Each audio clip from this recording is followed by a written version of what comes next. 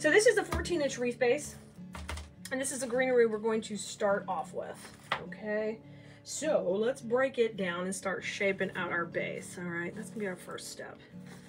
I like this. This is like a no-brainer because it's got a berry, it's got a gorgeous like hydrangea leaf in here. It's got like a little bit of a hydrangea, kind of like a little pop of it, but it's got these beautiful berries. So we're gonna use this kind of like our greenery, like our main greenery in it. And then we will kind of move on to putting the florals in. Okay, so far I'm just cutting these into two sections. Kind of got the thicker section and then the uh, thinner section. Ah, they're real nice. They're wired up really pretty. So you're gonna have one piece that has the larger leaves and the chunkier berries, and then one piece that has the smaller ones. Let's kind of get our spacing out. We're gonna make our bow in a second together, but I'm thinking, let's look at our wreath here. This is kind of the wonky part of the wreath. So I probably wanna work on this side. I generally design on this side anyway, so that's gonna work fine. So I'm gonna put this one in kind of going up. And let's get it started kind of up and over. Take a little Spanish moss. I use the Spanish moss guys to cover my glue, but it also functions as a way to hold it in place. So if you ever see me using it, that's what I'm doing. I'm putting glue on this one too. We're gonna come down over here and work it in here. Try to make sure I get through a couple of layers, guys. Make sure we got a lot holding it in place. All right. Okay, let's put this one a little bit lower right here and kind of have it come down. Now, in design school, I call this shaking hands. You can see I'm taking my time to spread that piece out. So that's the difference when you work with quality pieces. You, you can use a heck of a lot less because you're working with really good quality pieces. All right, let's put this one in a little lower and then we can kind of control where the berries are gonna go when we're ready. Okay, I'm fluffing this one too, shaking hands. I love that every little section is wired. You guys have been buying the tar out of the kits lately. And something we've implemented recently, guys, when you do get a kit, we are we know you have trouble finding the video later, so we started to um, make sure that we put a sheet in there that has the QR code to the kit link. I'm telling you, we're getting, we're learning. We are learning. I am live in design school every week, so don't miss us there. Got a good shape going. Now, I'm making this where it's gonna hang like this, guys, but you could you could change that up you could do all kind of things with your base. That was our first item, so I'm gonna put the twig filler flower in. They call it hot pink. The reason I'm gonna bring this one in is because of the beautiful colors that are in the butterfly that I'm gonna use, okay? So you can see here why I'm gonna do that. Now, I always say this bush is super plasticky, but it's so cool because it works like the neatest twig. So I wanna get a few pieces in. I think we'll put in um, four, and then we'll save four for after, uh, more towards the foreground. We'll get these in first.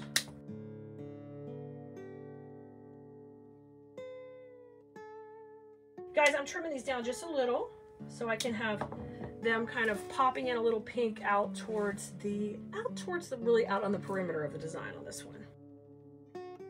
Okay, I'm gonna put the pink kind of coming out here. So you can see I'm kind of going on either side of the purple stem I'm putting in. Just popping that in. All right, we've got two on each side right here. Now let's let's get a little more to the center.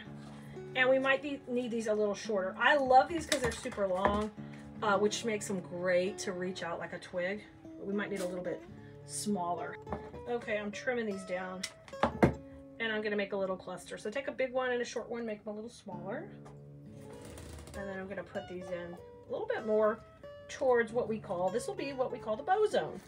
In design school, I'm always talking about, you know, this is our area we leave open for the bow. And uh, that's what we're doing right now. If you don't love ribbon, you can do other things, but I have the perfect ribbon combo for this uh, collection here you're about to see. I can't wait to do that. We'll probably do the bow in a minute.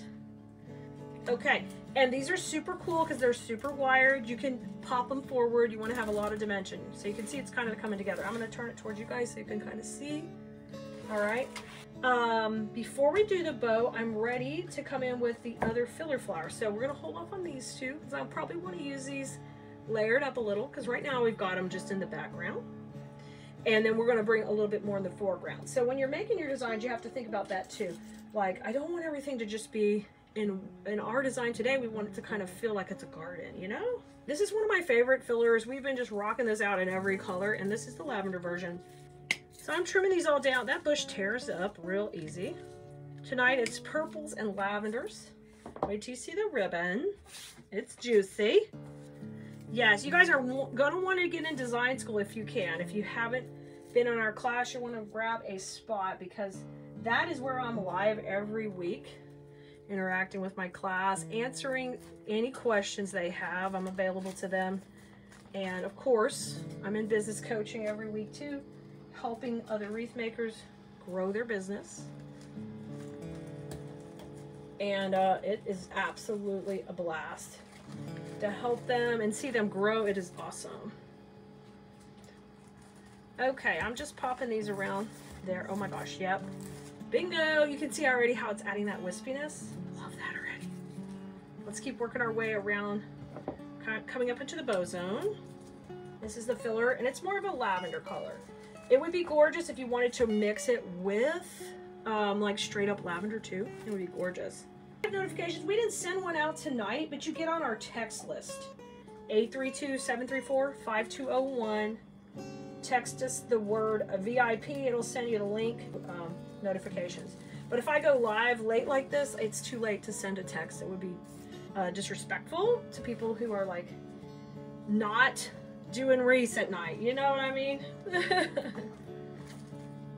but we will we'll be sending some this week too uh, everyone because we have got a lot going on. Okay, that looks nice and woodsy. Let's work on the top now and really fill this part up. That was the bottom.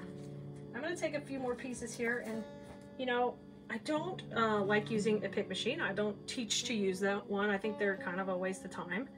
And I have a 20, this is year 26 having my own business and doing this. So I just, there's some things I just eliminated because I don't want to do them. And there's a certain way I design because that's the way I like. And uh, not that there's anything wrong with other people doing things those ways. It's just the way I teach and do things is specific to what I enjoy. I'm basically, I guess, a sophomore in college. I don't think I was a freshman. I think it was my second year because my dad um, got laid off of his job and all of a sudden I had to meet my expenses for university that I had to come up with every month, which wasn't a whole lot, but it was about $300 a month. And I did my first little craft show. I worked the concession stand. I went to Houston Christian University here in Houston. It used to be Houston Baptist University. And um, I had to figure out a way, you know, like she's gonna make it on her own type thing. I had to figure it out because there was that or, or get a loan. And um, I was trying to figure it out, you know, on my own. So I did my first little craft show and y'all, I made 60 bucks. I kid you not. I made $60 at that craft show. And I was hooked. Totally hooked. Like, they had me. They had me. They being the me. I loved making and selling things and it was just so exciting. So ever since then, I started on my journey and got my uh, business license and did that while going to school, but I really never gave up doing craft shows when I was young and was able to buy my house when I was like 24 because um, I couldn't really move out to an apartment because you know this wreath and stuff takes up room doesn't it? It takes up so much room. So I, I moved uh, out to the home. The home we still live in today we've never moved from here. I met Honey Bunny three years after, or whatever, however old I was, and we never moved. We're still here, still here today, in our same little happy home. Look how pretty, guys. That's how the journey began, and I have never stopped since then. This is so pretty so to start with, okay? Now, can you see here where we left the bow zone out, right? Okay, this looks super pretty, but let's go ahead and get our bow made, all right? We're gonna shift gears to the bow. I'm gonna put this one just off to the side, just like that. And then let me clean up just a little and let's get our bow maker out. And we're gonna make our bow. We are not done with the wreath. We've still gotta put our butterflies in and uh, a little bit of our darker pink twigs. But listen, if you don't you don't want to do the butterflies or whatever, look how pretty. Okay, you don't have to. So this doesn't look this good with that least of products if you don't use this in the background, okay? So let's start off with this one in the background. I am going to do long tails because I'm a big believer in long tails. The reason I like the long tails, I want it to be able to come below and come out of that greenery. So I'm going to go way down here to 20 inches. Okay, bring that to the center and twist it. Let's start with two, um, two loops at six and a half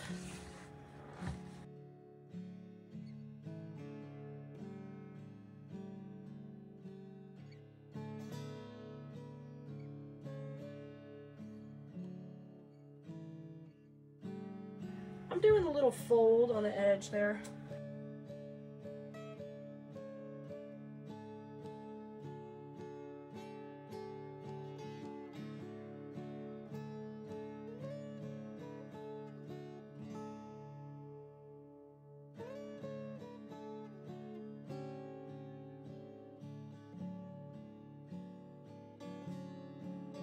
Okay, so our recipe so far is a 2-1.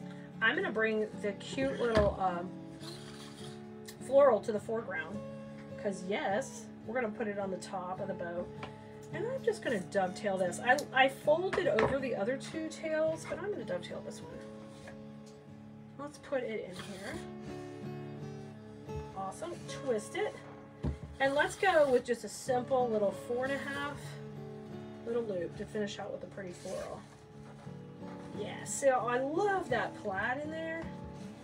And if you wanted um, more plaid and less of the floral, you're just going to do the opposite. Start off with the, the plaid first and then use the pop of floral in the middle. Isn't it cool how the same couple of ribbons could do just infinite different combinations? It's so fun.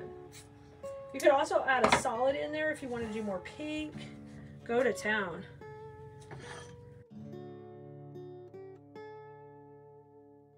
Okay, I'm gonna bring that up with the cable tie, add a little pressure here. And this is the part people kind of sometimes forget about, is you, you've gotta be careful right here. I have to fluff this before I make it tight because otherwise everything's gonna stay exactly where you're fluffing it. Look, look at all the depth and isn't that gorgeous? Are you kidding me? So stinking pretty. I love making it all just poofy like that.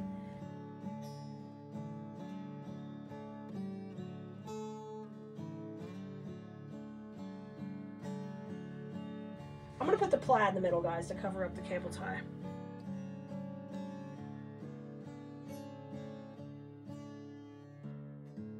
Turned it off. I put the plaid down the middle. All right, really pretty bow. Now, let's go ahead and put this in before we move on to the next step of filling in with the other florals and our really cool butterfly. Okay, you can see how I brought that ribbon behind. I'm a big fan of that. Like take these ribbons and work them into the to the floral. I just love how it brings the eye behind and it goes, oh, hey, look at the depth. And I'm also, every time you make a piece that has more depth and more dimension, if you're a seller, you're able to get a better price for it because it's just a little bit better design than your competition, if you know what I mean. I mean, it's just a little bit higher level when you focus on the depth. Look how pretty. Let me turn it this way. My gosh. Y'all, it's so pretty. We're not done. But that is so pretty. Here's the tails. Let me bring this tail over. But this is kind of how it will look when it's hanging like this. Now, what we're going to do for the last step is we're going to work on putting the butterflies in this section and then adding that little touch of the twigs left. So bringing in this pink butterfly is going to really be great because because this this ribbon is very busy and got a lot of pattern going on. So we can extend the eye with these butterflies. So either two or three cuts. We don't want a bunch of little cuts because then we use the length. We'll lose it without adding, adding a bunch more steps back. Okay, so I'm to take these off here. We worked with these in design school the other day, the yellow. So I'm going to take this and we're going to see how I'm kind of splitting the stem. I'm going to get access to this wire right here and get that out. Get that dude out of there. I just, I love these twigs. I'm here for them too today. All right, let's start off high up here in the wreath and we're gonna get right in here. So these are gonna create our line in our piece. So not only do you have filler flowers and main flowers, but you have a flower that creates this beautiful line. And that's what we're gonna do with these twigs. That's kind of a strategy I would teach in design school and teach you how to implement that into your pieces. That's what we're doing right here. Oh my gosh, yes. Beautiful. Look how pretty that is. Isn't that gorgeous? Now let's have another little piece going out here. And that could be a, a shorter one with a little bit less going on. Let's use the one with the smaller. Oh, they have equal amounts. So I'll just go, tell you what. I'm to cut this piece off here. So I can still keep it long. And we're just to use two right here. I'm to use two coming out of that section. Okay, I'm to push this into the grapevine right here. You want to make sure you're going in and not all the way through the back bring those two up. That's perfect. Okay, now let's work below. This one's going to come right out of the center of the bow right here. So get to where you're in the center. And that'll help that butterfly line continue from up above. And we're going to manipulate those around. Beautiful. All right, and then we'll just continue with this one, leaving it nice and long at the bottom. So the butterflies are in, the berry picks are in, the beautiful bow is name uh, is in there, and then here come the twigs. So here is that. It's called hot pink, but it's really this almost this exact purple that's in here. So now I'm going to take these and cut these short, and we're going to work in tight around the bow. We're not quite done yet. We're going to merchandise, as I call it, around the bow. We want to get in here tight for the potty and we want to make it feel layered. Remember I talked about that earlier, what we use in the back, we want to bring towards the front. That's what we're doing right now. Same process. I'm going to put that one in. Oh, yes. Got two more. I'm going to cut these a little bit shorter.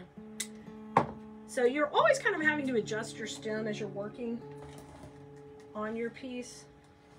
We're going to pop these in right here. One of the great things about being on the text list is no matter when you're watching a video, if it's the middle of the night, you can get a response.